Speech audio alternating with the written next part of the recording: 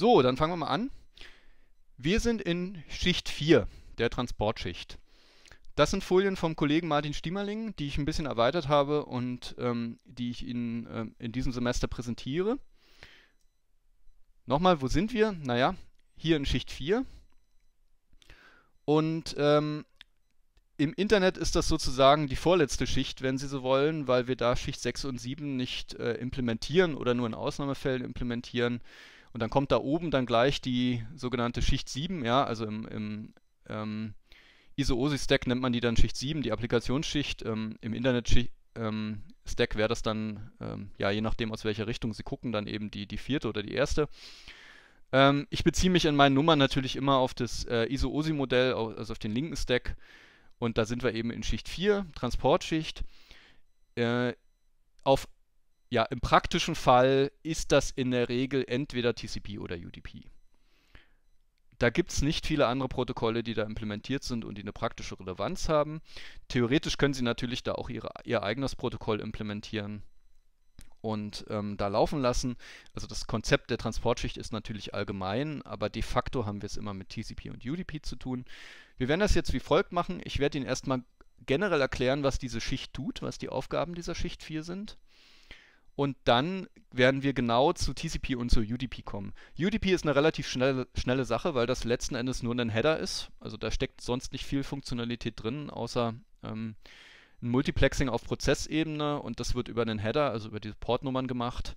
Darüber reden wir so ein bisschen. Ansonsten hat UDP keinerlei Funktionalität. TCP hat im Gegensatz dazu sehr viel Funktionalität, über die wir sprechen müssen und die ich Ihnen auch im Detail erklären werde ähm, zu diesem Termin und zum nächsten Termin. Gut, reden wir über die Dienste der Transportschicht. Für die Transportschicht ist das Netz nicht mehr sichtbar.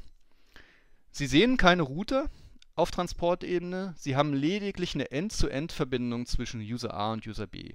Links, einzelne Links, also egal ob die auf Layer 2 sind oder sozusagen auf Layer 3 zwischen Routern, sehen Sie auch nicht. Sie sehen, ähm, User A möchte ein Paket verschicken.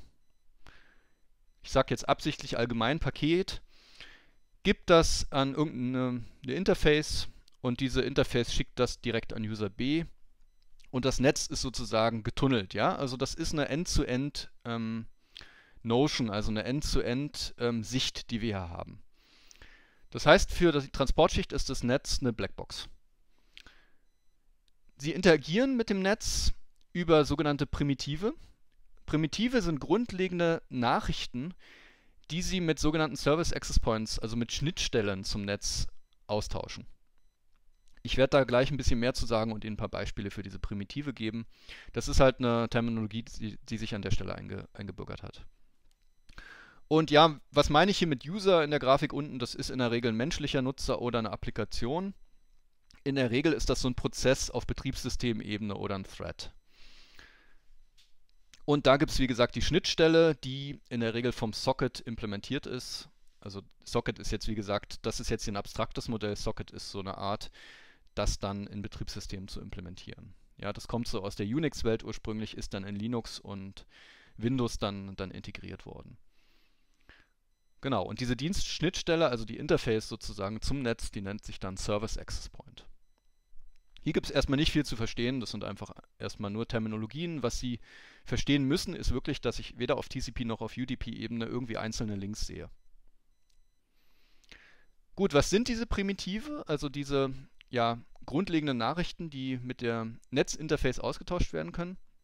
Ja, die haben die Funktion, das Netz wegzuabstrahieren sollte aus der vorigen Folie eigentlich auch schon klar sein. Ne? Und ähm, die enthalten Parameter. Also zum Beispiel sowas wie eine Sendeadresse oder eine Sendeidentifikation. Ja, ich rede hier nicht notwendigerweise über IP-Adressen, das können auch andere Adressen sein, um zum Beispiel einen Prozess zu identifizieren. Ne? Also den Prozess, der das Netz nutzen will. So, dann Empfänger.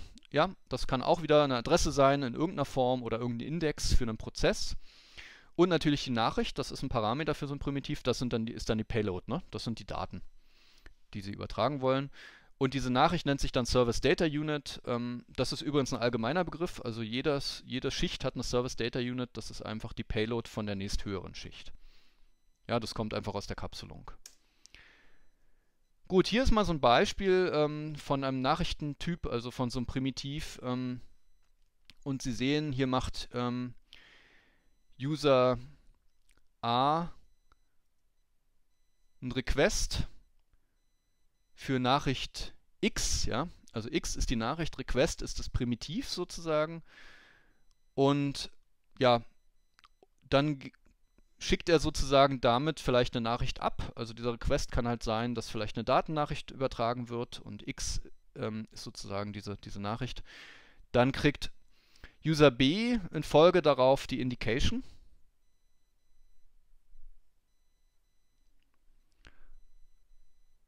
Und äh, antwortet dann mit einer Response, also mit dem Primitiv Response und daraus wird dann aus dem aus der Netzwerk-API, also die Interface oder der SAP des Netzwerkes, gibt dann eben ein Confirm zurück. Also Sie sehen, die, der Dienst dieser Schnittstelle ist eben auch aus bestimmten Primitiven andere Primitive zu machen, wie zum Beispiel aus einem Request eine Indication und aus einem Response ein Confirm. Ja, hier wird nochmal erklärt, was die alles machen. Das sollte relativ klar sein, ne? einfach von der Namenswahl, was da passiert. Ja? Also User A fragt eine fragt beim Service Access Point eine Paketübertragung an, bei seinem lokalen. Ja, dahinter steckt natürlich ein ganzes Netz, also im Zweifelsfall ein ganzes Internet mit der ganzen Komplexität, die wir bisher betrachtet haben. Das wird dann irgendwie übertragen ne, von dieser Blackbox-Netzwerk. Und äh, daraus macht dann der lokale Service Access Point des Users B, also im Stack des Users B wird dann eine Indication draus gemacht und die Nachricht wird hochgegeben mit diesem Primitiv Indication. Und dann geht das wieder rückwärts mit dem Response und dem, dem Confirm.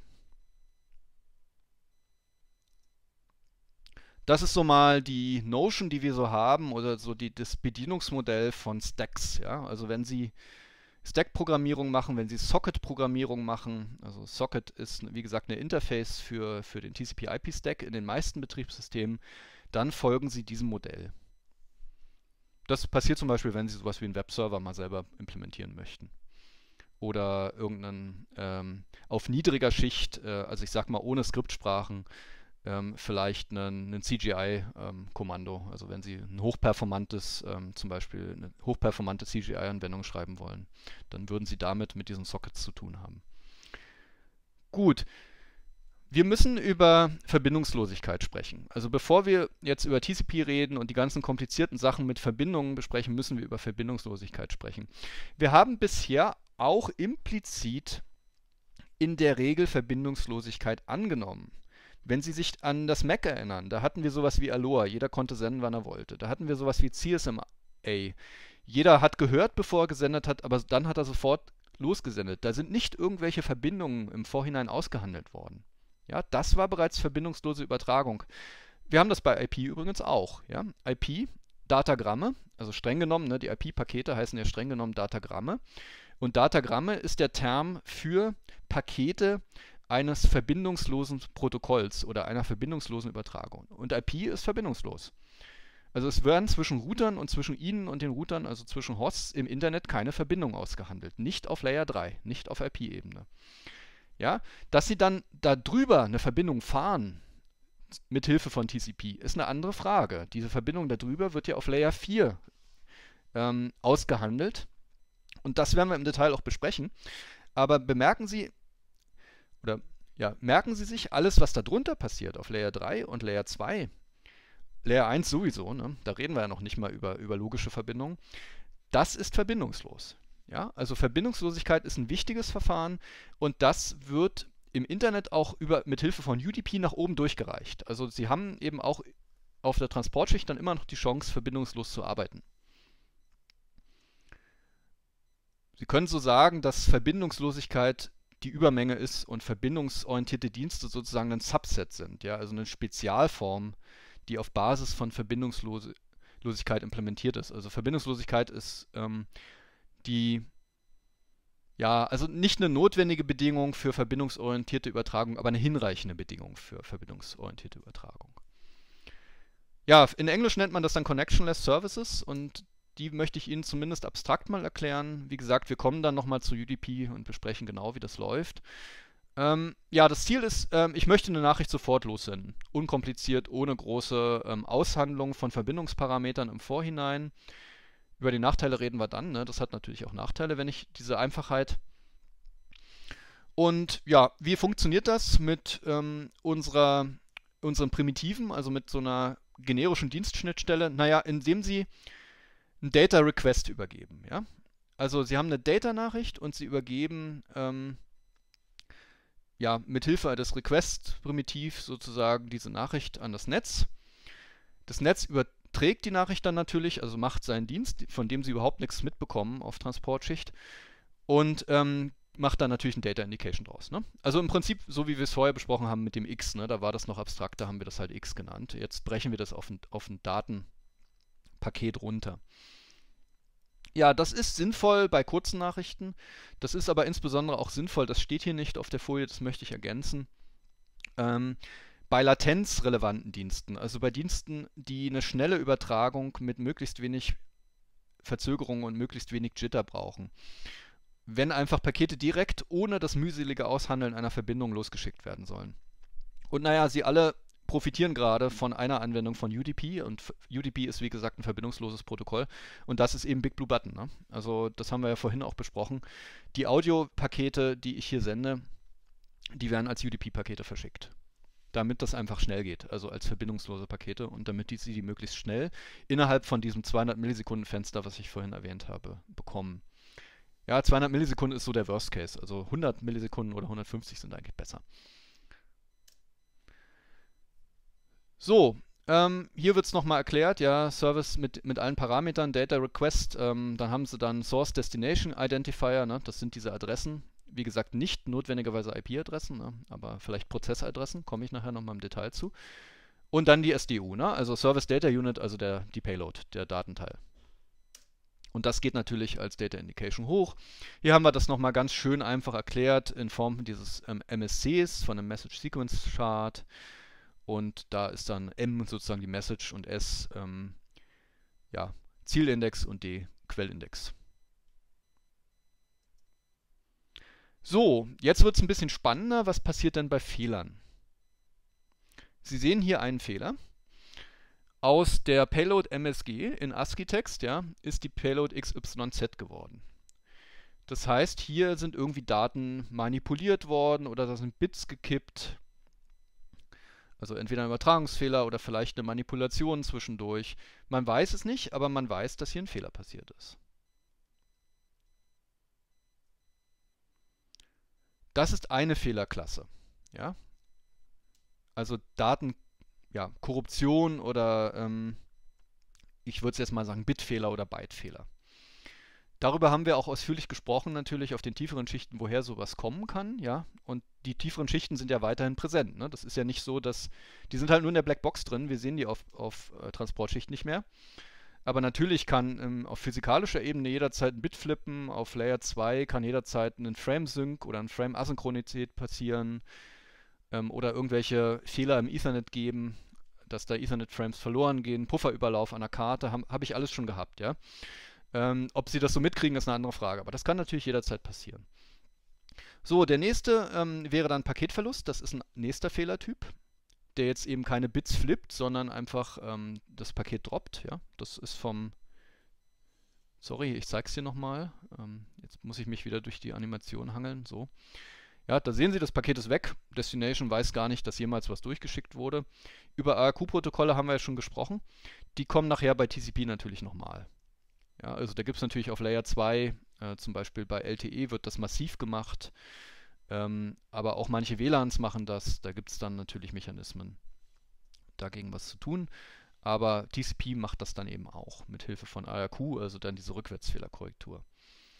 So, der nächste Fehlertyp ist Verdopplung.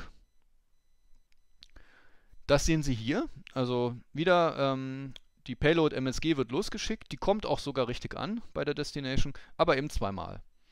Ja, da ist vielleicht ein Router falsch ähm, implementiert oder zwischendurch ist mal ein Paketverlust aufgetreten und der, der korrigiert werden konnte, aber der wurde leider, wurde das, ähm, wurde, ja, wurde vielleicht eine Rückwärtsfehlerkorrektur angestoßen und es gibt eine Verdopplung. Wir haben ja bei IRQ darüber gesprochen. Wir hatten ja so einen naiven Entwurf ähm, als wir das Link Layer besprochen haben, von so einem ganz einfachen AQ-Protokoll. Und das hat ja auch Verdopplungen verursacht. Ne?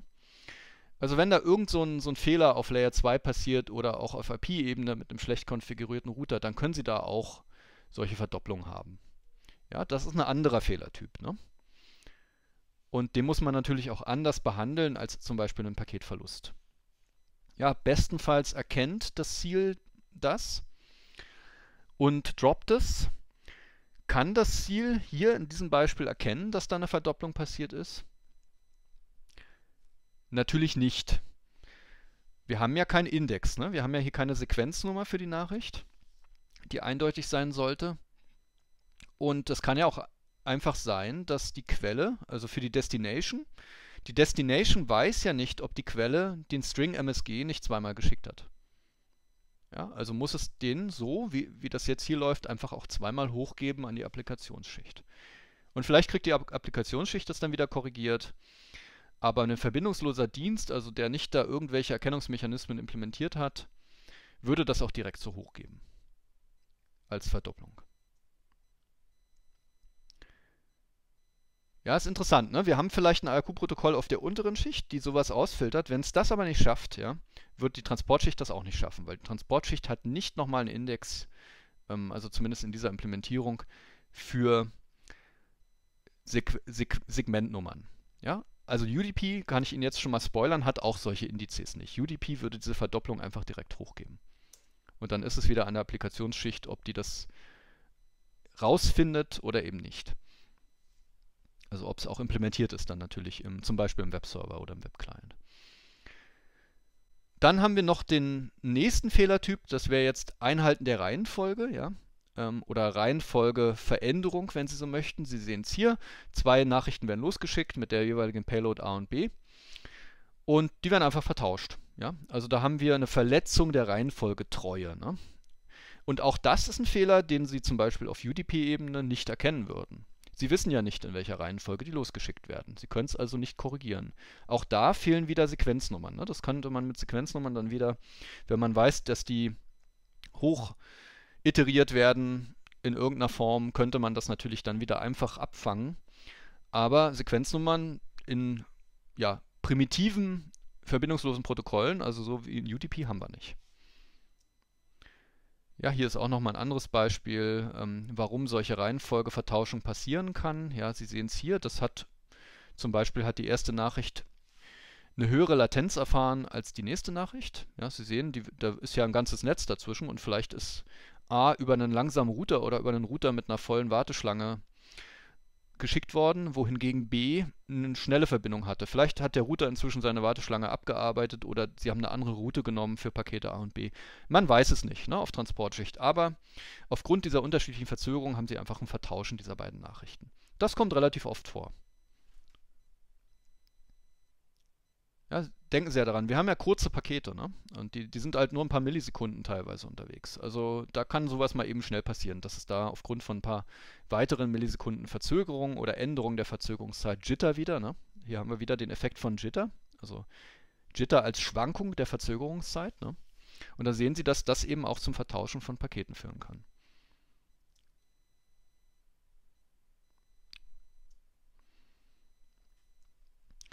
So, das ist verbindungsloser Dienst. Bisher, wie gesagt, keinerlei Acknowledgements, daher auch keine Rückwärtskorrektur der Fehler, auch keine Flusskontrolle. Ne? Also einfach direktes Zublasen des, des Eingangspuffers durch den Sender, ähm, durch das, die Wahl einer zu hohen Senderate ist durchaus möglich.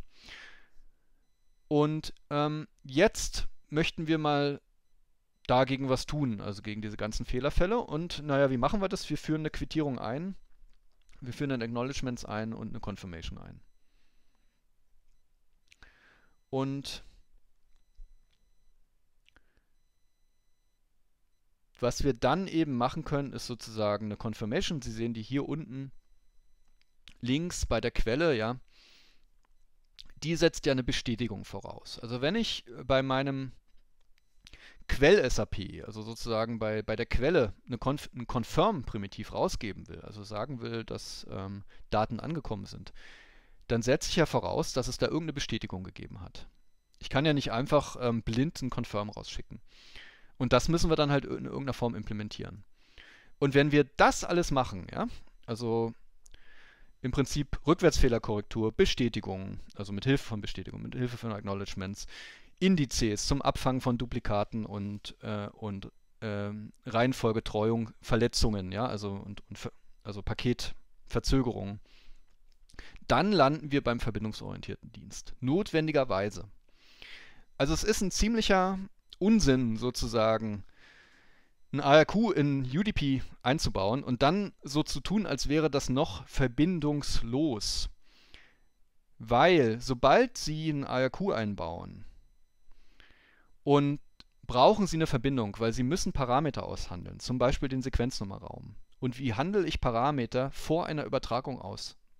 Naja, indem ich eine Verbindung aushandle und dabei sen zwischen Sender und Empfänger zum Beispiel das, die Größe des Empfangspuffers austausche und den akt die aktuell genutzten Sequenznummern. Das sind dann so Verbindungsparameter, die Sie haben. Das bedeutet also, man kann natürlich sich da so eine Grauzone vorstellen und sagen, ich will jetzt eine Teilfunktionalität haben, die irgendwo zwischen verbindungsorientiert und verbindungslos ist. Also man kann verbindungsorientiert so ein bisschen relaxen bei der Implementierung. Aber das, man kommt da relativ schnell an den Punkt, wo man sagt, naja, ich muss, bevor ich überhaupt Daten übertragen kann, Parameter austauschen und dann ist man eben wieder beim verbindungsorientierten Modell. Das wird jetzt auch gleich ein bisschen klarer an, anhand der Beispiele und anhand der Grafiken. Aber das schon mal sozusagen für die Cracks so ein bisschen ähm, unter Ihnen als, als Vorrede. Ja, verbindungsorientierter Dienst oder Connection-Oriented Service. Ja, Herstellen einer logischen Verbindung zwischen zwei Usern. Es geht nicht um eine physikalische Verbindung. Ne? Die Idee kommt natürlich so aus der alten Telefoniezeit, wo da wirklich jemand gestöpselt hat und da wirklich eine echte physikalische Verbindung am Ende da war zwischen zwei Telefonienutzern.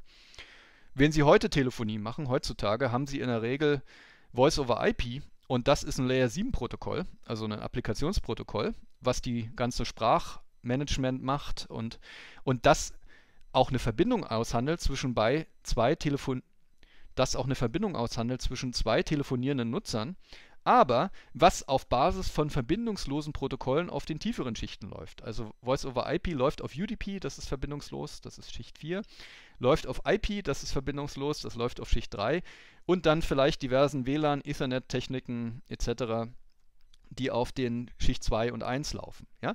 Also das ist ironisch. Ne? Also aus diesem alten verbindungsorientierten gesteckten Telefonnetz ist inzwischen zwar immer noch ein verbindungsorientierter Dienst geworden über Voice over IP, weil sie auf Layer 7 ja immer noch Verbindungen haben, aber alles weiter drunten ist verbindungslos. Ja, das ist so, was ihnen der Stack dann am Ende reinbringt an Kapselung. Ne? Also das ist relativ geschickt, dann können wir das so kombinieren. Ne? Und das heißt natürlich nicht, dass wenn ich unten auf den tieferen Schichten verbindungslos unterwegs bin, dass ich dann oben keine Verbindung machen könnte. Natürlich kann ich das. Ja? Und TCP und Voice over, Voice over IP macht das auf Layer 7, wie gesagt, und TCP macht das auf Layer 4. So, Ziel, Herstellen einer logischen Verbindung, daher logisch, ne? also hier in Blinkschrift logisch, das ist hier der wichtige Punkt. Ja? Im Gegensatz zu physikalisch zwischen zwei Usern. Auch zwei ist hier ein sehr wichtiges Wort. Also Verbindungen, über die Sie einen Multicast machen wollen oder einen Broadcast. Das heißt also eins zu viele Verbindungen. Ein Nutzer sendet, also sowas, was wir jetzt gerade machen. Ich sende und Sie empfangen das alles auf Layer 7, sind relativ sinnfrei. Also man kann sich da streiten, ob das nicht in irgendeiner Form gehen würde, aber sie landen da, wenn sie das versuchen, verbindungsorientiert zu machen, kriegen sie da relativ schnell schwierige technische Probleme. Also zum Beispiel so ein Problem wie, dass der langsamste User in ihrem Broadcast oder ihrem Multicast das gesamte, äh, die gesamte Übertragung für alle beteiligten User runterzieht. Ja, weil sie müssen da sozusagen den langsamsten ja auch abdecken und das müssen sie in einem Multicast machen. Und daher ist für Multicast Verbindungslosigkeit eine tolle Sache. Also das ist auch wieder so ein UDP-Paradebeispiel. Äh, und daher ist diese 2 auch hier sehr wichtig. Also wir reden hier in der Regel über den Unicast, also eine Verbindung zwischen zwei Nutzern. Oder zwei Hosts, ja. So, ähm, dann haben wir natürlich zeitlich diverse Phasen ähm, bei dieser Verbindung. Wir müssen ja erstmal eine Verbindung aufbauen, bevor wir überhaupt über eine Verbindung reden können. Dann haben wir den Datenaustausch, das ist sozusagen die produktive Phase, in der dann möglichst effizient natürlich Daten ausgetauscht werden. In der Regel reden wir hier über Vollduplex. Also auch TCP natürlich, also es sei denn, ich erwähne das, aber das gilt natürlich immer für TCP auch, was ich hier sage. Also auch TCP macht einen Unicast in Vollduplex. Also beide Seiten, beide Nutzer können gleichberechtigt senden und empfangen. und gleichzeitig natürlich auch. So, und dann haben wir natürlich die letzte Phase, das ist der Verbindungsabbau, der hoffentlich geordnet stattfindet. Wenn der nicht geordnet stattfindet, weil zum Beispiel ein Client einfach weg ist, dann ähm, müssen die Protokolle damit natürlich auch klarkommen, aber normalerweise ist diese Phase dann da. So, Nutzen, ja, Austausch von vielen Nachrichtendaten in einer strukturierten Form und insbesondere, das steht hier nicht auf der Folie, ähm, in einer sicheren, zuverlässigen Form. Sicher jetzt bitte nicht in kryptografisch sicher oder im Sinne von, von, äh, von IT-Security, sondern wirklich im Sinne von Zuverlässigkeit. Ja? Bestenfalls garantierter Zuverlässigkeit. Da sage ich nachher nochmal was bei TCP, was diese Garantien dann wirklich bedeuten. Ähm, und was auch wieder ein bisschen, bisschen witzig ist. Ne? Also sie möchten auf Basis von unzuverlässigen Schichten, also alles unter Schicht 4 ist unzuverlässig. Und jetzt sagen sie auf Schicht 4, ich möchte jetzt aber bitte garantiert zuverlässig sein.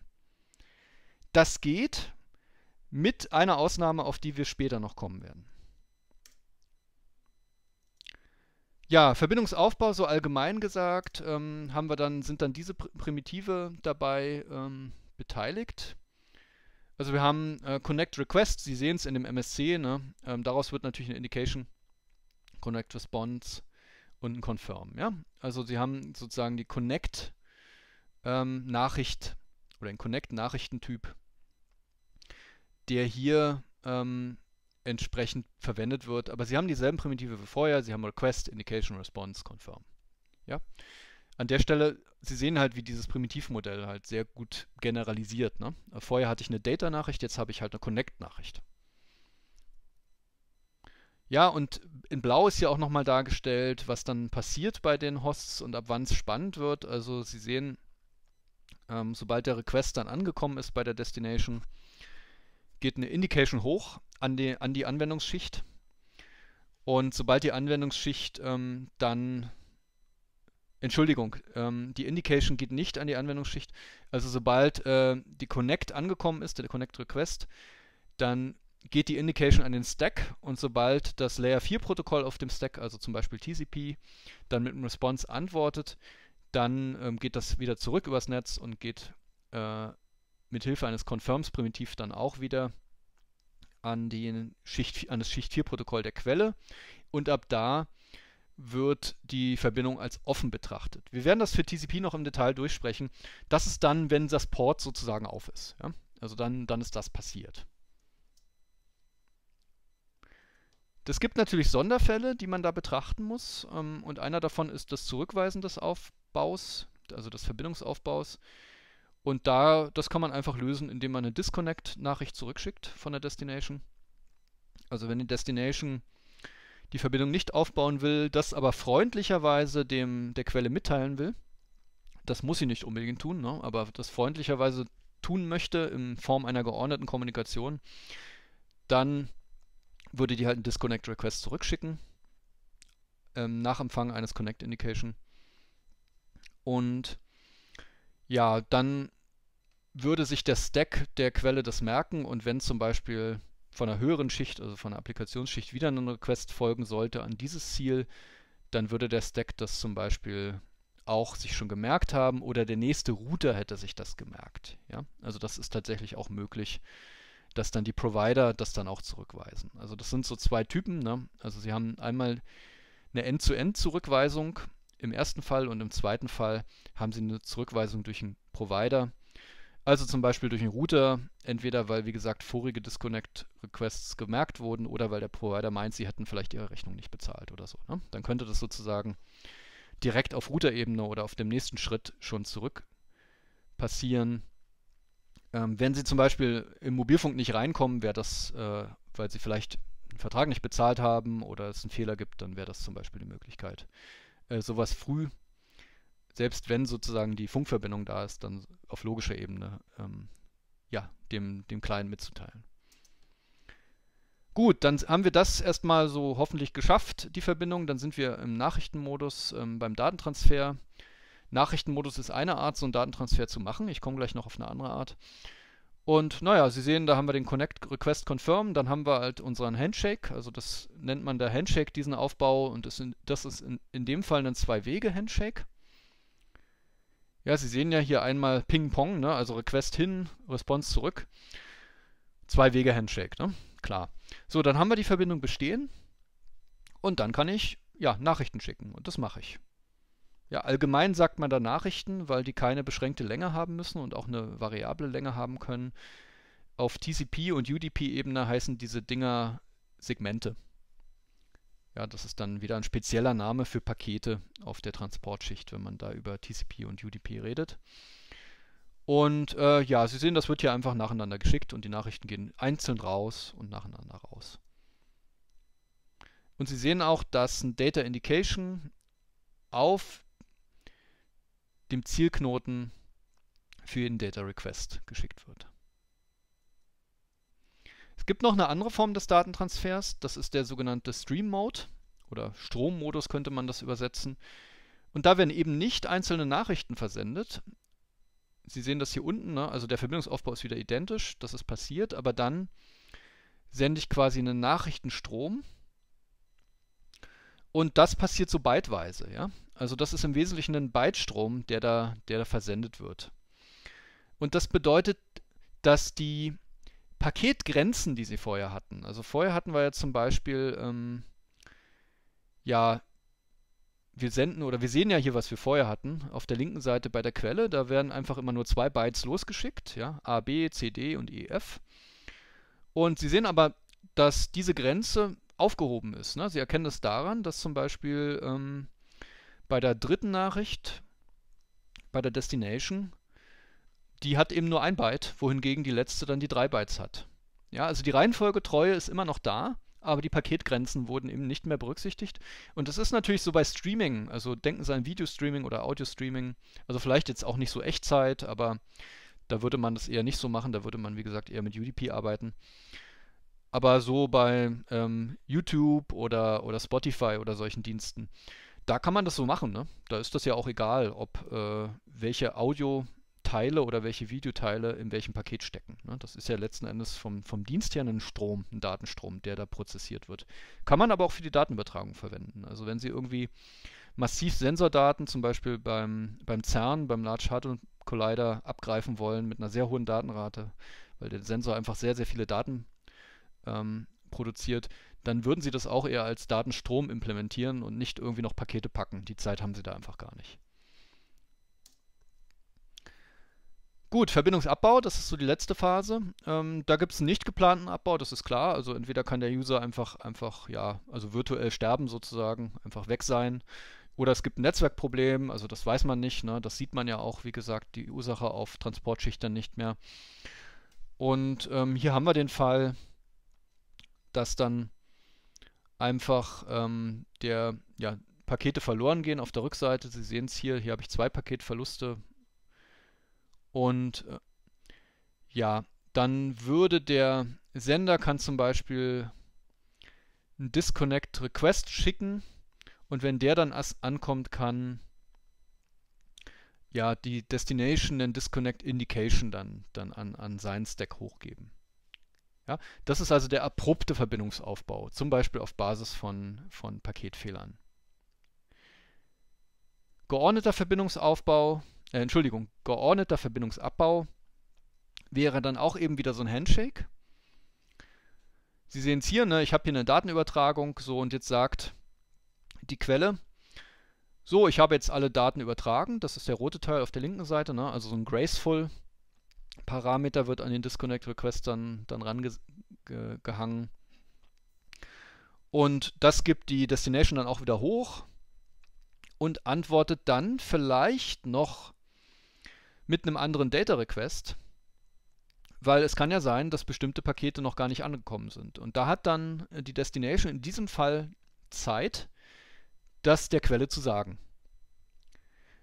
Und erst wenn die Destination nichts mehr erwartet, würde die Destination hier den Disconnect Request Graceful schicken, also den blauen Teil auf der unteren rechten Seite. Also so nach dem Motto, ja, ich habe alles.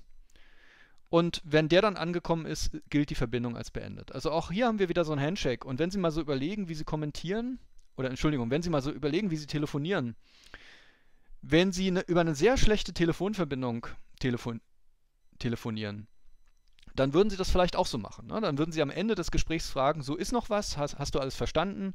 Und dann würden Sie sich das bestätigen lassen von, vom Empfänger der, und der sagt dann, ja, habe alles verstanden, habe auch nichts mehr zu diskutieren und dann ist die Verbindung beendet. Das ist so der geordnete Verbindungsabbau, den wir haben. Ne? Ursache, warum macht man das eben? Damit man der Quelle noch die Chance gibt, ausstehende Pakete nochmal abzufragen ähm, oder fehlende Pakete nochmal abzufragen. Das ist ein wesentlicher Dienst, den Ihnen TCP bietet. Wir haben bisher ges darüber gesprochen, warum wir verbindungsorientierte Protokolle brauchen. Ich hatte das erwähnt, wir hatten gesagt Zuverlässigkeit und ja, wir haben wir Zuverlässigkeit zum Beispiel auf Layer 2 implementiert? Naja, das haben wir durch die Rückwärtsfehlerkorrektur implementiert, also durch das ARQ. Ja, das haben wir ja allgemein auf Schicht 2 besprochen, weil wie gesagt, viele Schicht 2 Implementierungen machen das.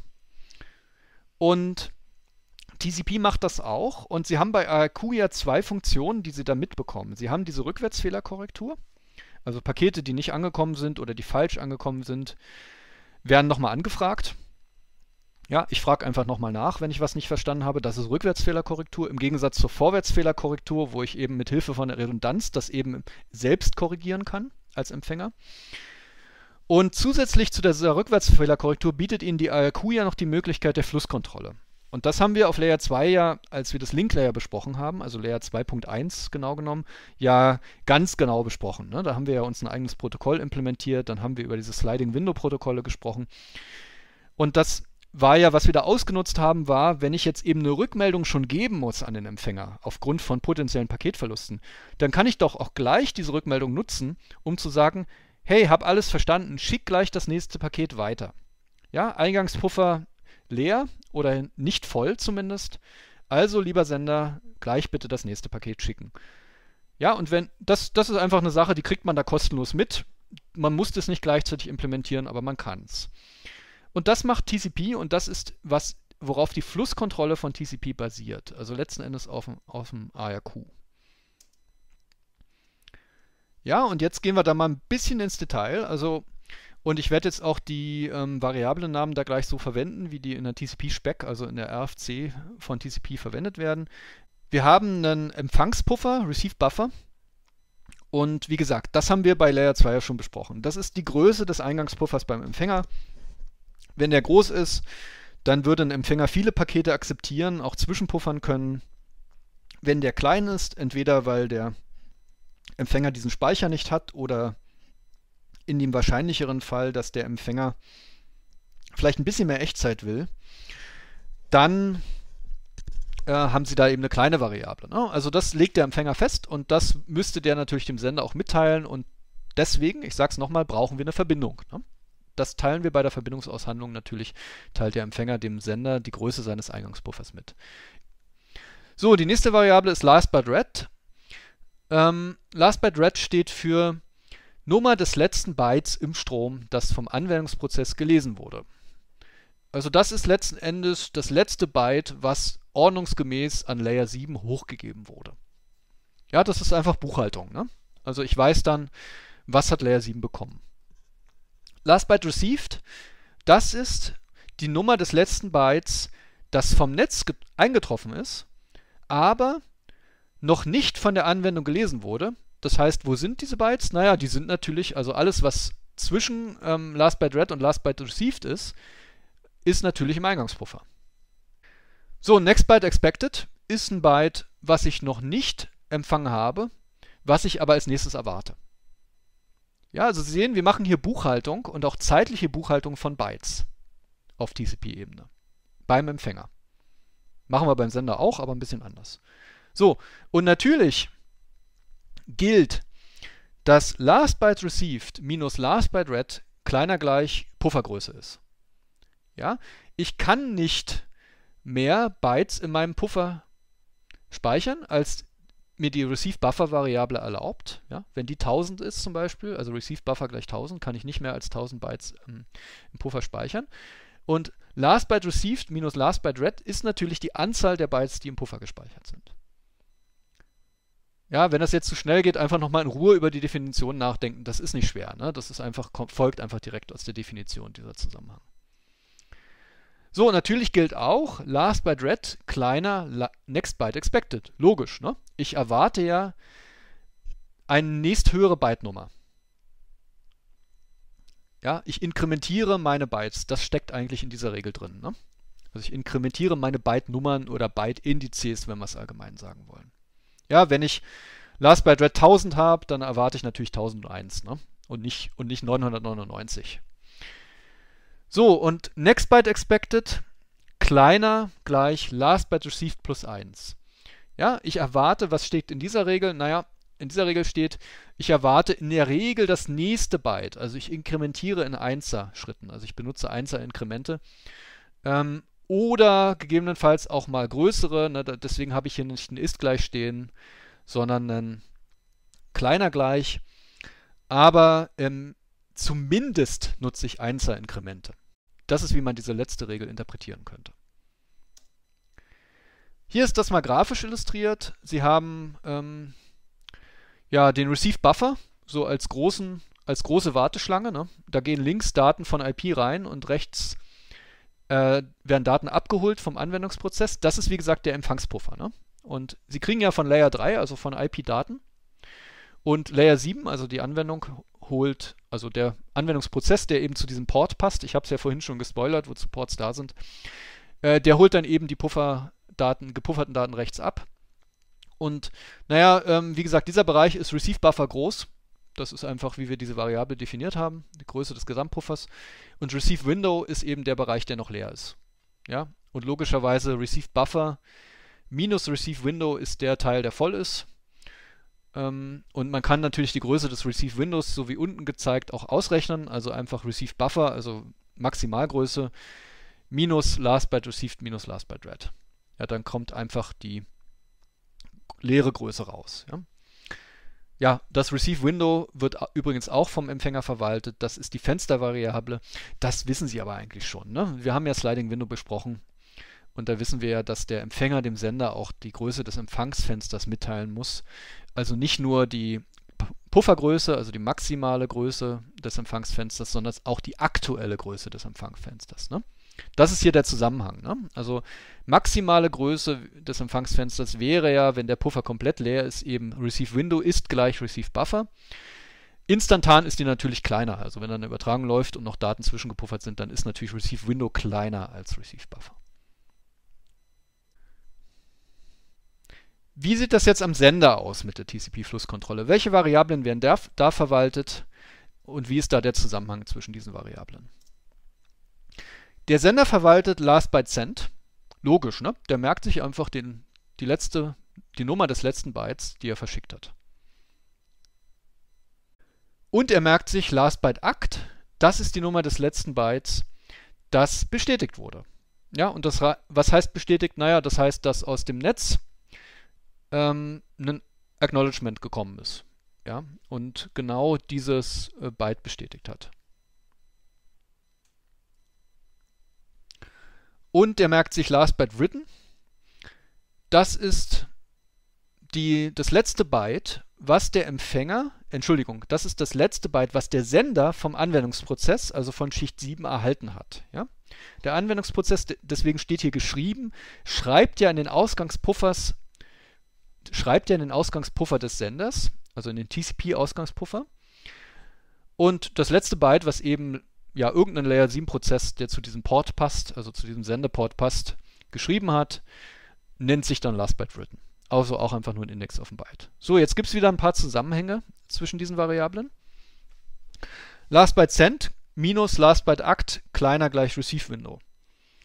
Ja, das ist eigentlich ja auch klar, wenn man sich die Definition nochmal anschaut, weil es kann ja nicht, es können ja nicht sozusagen mehr Bytes ausstehen, als das Receive-Window definiert. Wenn das Receive-Window 1000 ist, ja, können ja nicht mehr als ähm, 1000 Bytes gesendet werden.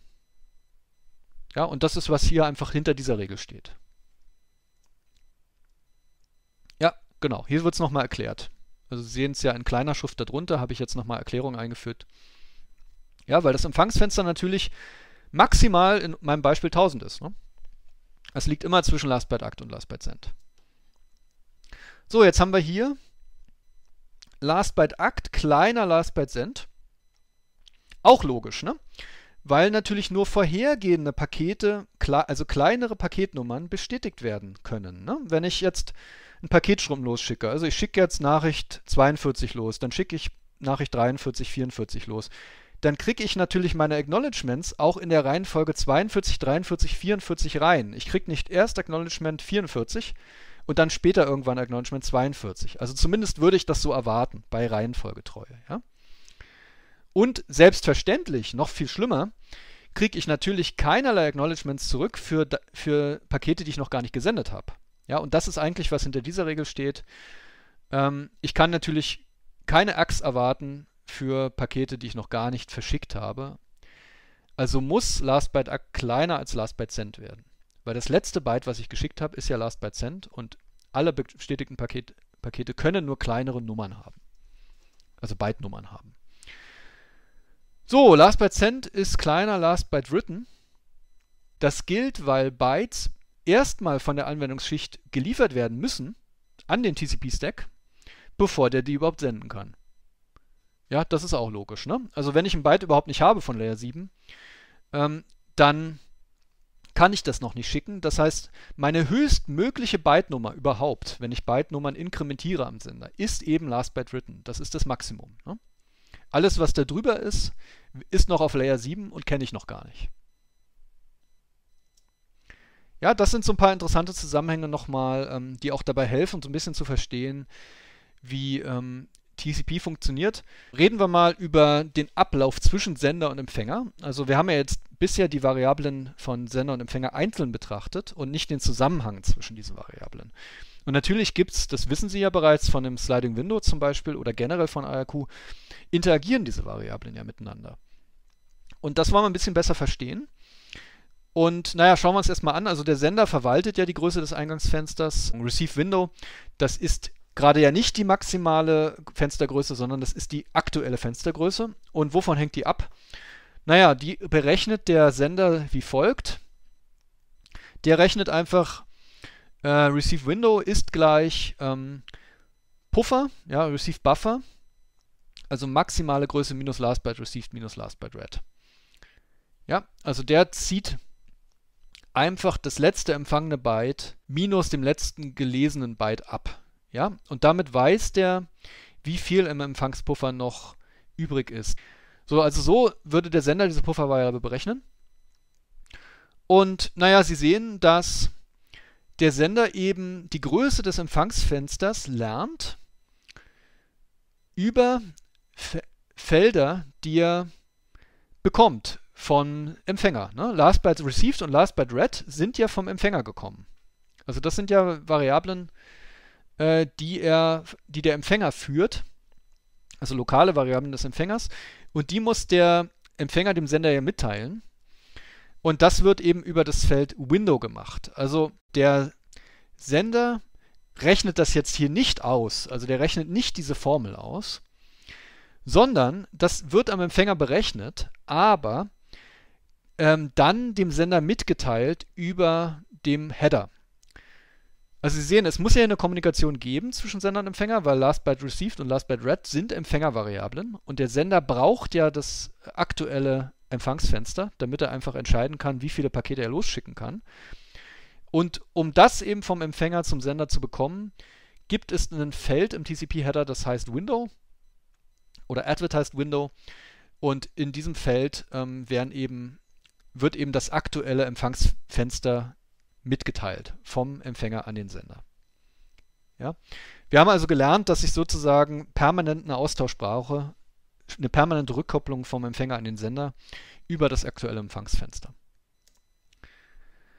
So, und der Sender berechnet dann eben dieses sogenannte Effective Window, basierend auf diesem Advertised Window Parameter. Wie gesagt, Advertised Window zieht er sich aus dem Header. Das kommt also bei TCP-Segmenten, da steht das im Header. Wir besprechen den TCP-Header ähm, beim nächsten Mal. Da steht das dann eben drin, dieses Window-Feld. Und das holt er sich da raus und dann rechnet er eben in Analogie zu der oberen Formel dann einfach aus, minus Last Byte Send minus Last Byte Act. Ja? Also letzte losgesendete ähm, Byte minus letzte Acknowledged Byte, ja, also das ist quasi, was noch im Puffer ist, was ich jetzt am liebsten loswerden würde im lokalen Ausgangspuffer. Das steckt in dieser Klammer da hinten rechts. Ne? Und das zieht er vom Advertised Window ab. Und wenn das größer 0 ist, weiß er, dass er Daten schicken kann und er weiß dann sogar, wie viel Daten er schicken kann. Ja, Advertised Window, wie gesagt, aktuell, wie viel Platz hat der Empfänger? Das ist eine Rückkopplung.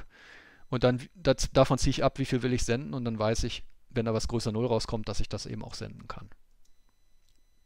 Ja, hier steht es auch nochmal. Ne? Effective Window muss größer 0 sein, damit der Sender weitere Daten senden kann. Ist Buchhaltung. Also was wir hier machen, ist wirklich ganz einfaches ähm, ja, Accounting. Ne? Also wir zählen hier Bytes. Und wir schauen, hat der Empfänger überhaupt noch genug Platz im Empfangsfenster. Ja, Zusammenhang zwischen TCP-Parametern und TCP-Segment-Headern, das sollte jetzt schon so ein bisschen rausgekommen sein. Hier sehen Sie das nochmal als Pointer dargestellt. Also Sie haben hier den Sendepuffer auf der linken Seite. Sie haben hier den Empfangspuffer auf der rechten Seite. Und Sie sehen hier links eben die beiden Pointer, Last Byte Act, Last Byte Send. Und dann rechts Last Byte Written, ja, beim Sender. Und Sie sehen eben rechts, ähm, wo die Pointer von Next Byte Expected und Last Byte Received sind. Ne? Und dann ist natürlich beim Empfänger rechts das, was ähm, sozusagen rausgeholt wurde bereits von der Anwendung ganz weit rechts. Dann links ist eben, was ich als nächstes erwarte. Und beim Sender haben sie links, was bestätigt wurde und, und rechts, was gesendet wurde. Ja? Das ist so eine kleine Übersicht nochmal zu diesen einzelnen Pointern. Schauen Sie da auch gerne nochmal in, in Layer 2.1 ähm, bei dem Sliding Window Protokoll nach, nochmal zum Verständnis und, und korrelieren Sie das damit, ja. Ähm, also das ist dasselbe Konzept, was wir hier machen. Also wir machen ein Sliding Window ARQ.